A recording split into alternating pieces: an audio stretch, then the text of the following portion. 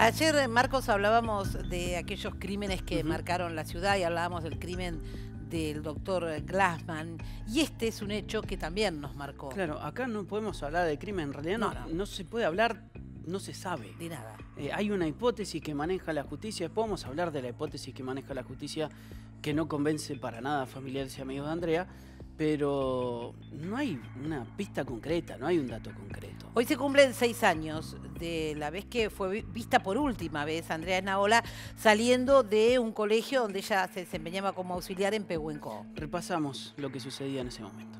Estaban pocos minutos para las 5 de la tarde del miércoles 15 de julio de 2015, cuando Andrea Naola se retiró de la escuela técnica número 1 de Pehuenco, donde trabajaba como auxiliar.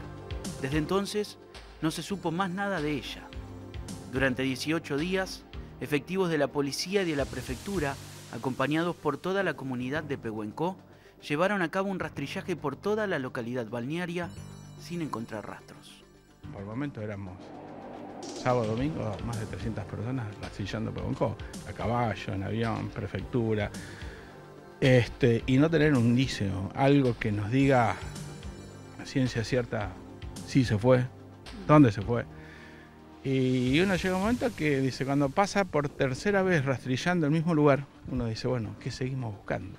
Es una incógnita, un sufrimiento, y bueno, que no tiene fin por ahora, que sí, esperemos que algún día, que sí, que, los que investigan, bueno, lleguen a, una conclusión o algo. Eh, qué sé yo, lo, peor, o lo mejor o lo peor, para, para salir de este interrogante.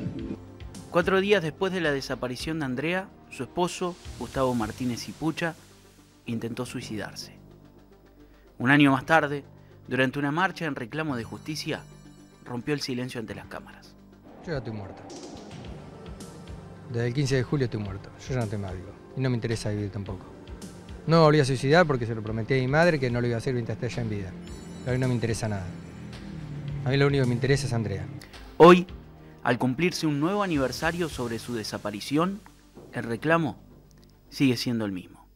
¿Dónde está Andrea Naola? ¿Dónde está Andrea Naola?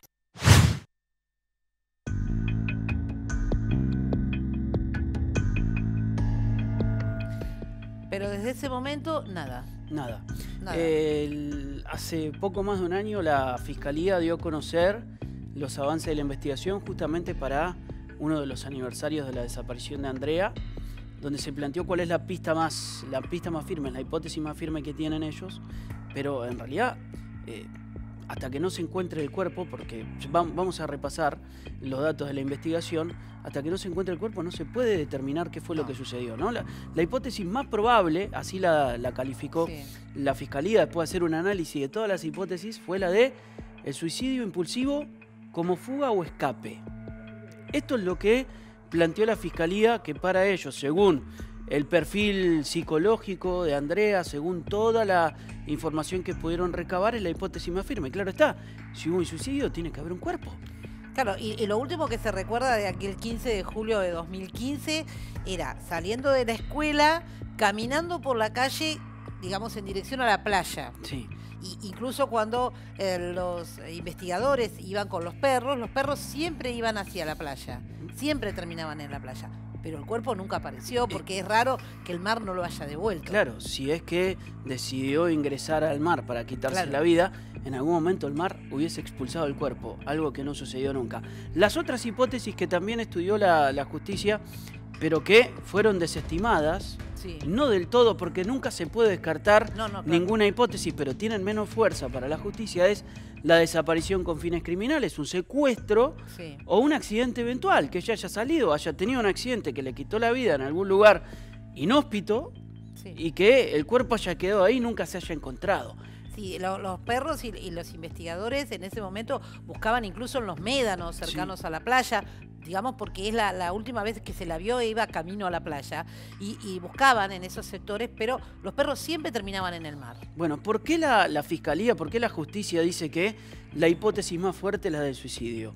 Se basaron en una serie de análisis psicológicos en base al, perfil, a los rasgos del perfil que tenían, porque nunca se pudieron entrevistar con ella, es todo a partir del relato de testigos y demás.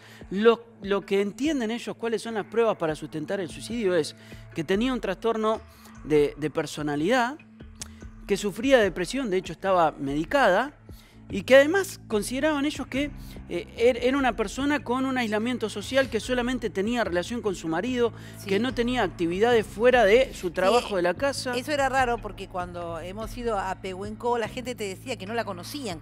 Prácticamente la conocían los que trabajaban en la escuela, los que eran padres de los chicos de la escuela, los que eran compañeros de ella, pero el grueso de la gente, yo recuerdo en ese momento el delegado municipal, no la conocían porque como vos decías, era una mujer que tenía relación con su marido y con muy pocas personas más. No, no, no, no tenía una vida social. Allí en Pehuenco, donde en época de invierno, como el 15 de julio, eh, es muy poca la gente que hay. Y además tengamos en cuenta un dato. Este es el, es el rasgo, el perfil psicológico que determinó la justicia que tendría Andrea Naola. Yo dije, esta hipótesis no le cierra ni a los familiares ni a los amigos. ¿Cuál es el detonante que según entiende la justicia podría haber llevado a Andrea Naola a quitarse la vida? Ella se había tenido que volver con su marido antes de la luna de miel por la erupción del volcán, ellos habían viajado al sur. Entonces, ¿qué habían dicho? Bueno, no pudimos tener la luna de miel como queríamos, vamos a irnos de vacaciones al norte. Pidió dos semanas, estamos muy cerquita de la vacación de invierno, en, la, fecha, ¿no? Pidió las dos semanas de vacaciones para irse y hacer ese viaje que se había frustrado como luna de miel hacerlo al norte. ¿Y qué le dijeron en la escuela? No vamos a cerrar las dos semanas, te vas a poder tomar solo una semana. La justicia dice que porque no le dieron esas dos semanas de vacaciones y con el perfil que tenía, dan todos los, o, cierran todos los, puntos para eh, considerar que se trató de un suicidio. Esta, esta hipótesis que tiene la justicia como más probable no le cierra para nada ni a los familiares ni a los amigos. La respuesta seguramente se la llevó Andrea, ¿no? Eh, por lo que haya pasado, se la llevó ella, pero sus familiares siguen reclamando justicia y siguen reclamando a la justicia que investigue. Hoy se están llevando a cabo diferentes actividades, obviamente en Pehuenco, la localidad de Andrea, pero también aquí en nuestra ciudad. Fuimos a hablar con representantes de las entidades feministas de nuestra ciudad para conocer su opinión, sobre todo de esta última hipótesis. Eh, hasta donde sabemos la causa está aplastada, está, está parada, si bien en su momento este caso se mediatizó mucho eh, y bueno, teníamos esperanza de que se podría llegar prontamente con, una respuesta de lo que había pasado con Andrea. Esto bueno, con, el tiempo fue quedando en la nada y después de seis años seguimos reclamando por ella. ¿Cómo, cómo cayó cuando la, Fiscalía, eh, o para la Fiscalía, tomó fuerza la hipótesis del suicidio? Bueno, nosotras el suicidio también es una, de las cosas que, hacen las personas, entonces esta es una hipótesis que siempre se baraja, pero en este contexto de Argentina, eh, de violencia hacia las mujeres, etcétera, lo que primero que pensamos es que pudo este, tener que ver con algún caso de este tipo, entonces las mujeres siempre eh, estamos alertas y, vamos a intentar buscar una respuesta. Sabemos que hay muchos casos eh, que incluso se atribuyen a suicidios que no lo han sido.